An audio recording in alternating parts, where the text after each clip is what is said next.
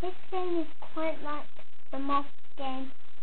You have to find the right pattern. Really? Except that you can use the same code twice, or some of them.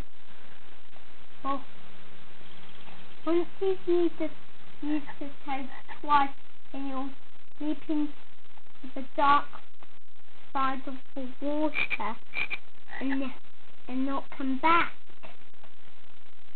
Yes, How many mistakes do you get to make? Is there a limit?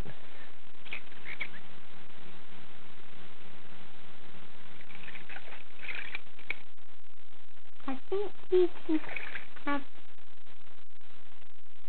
much gold as you want. Mm.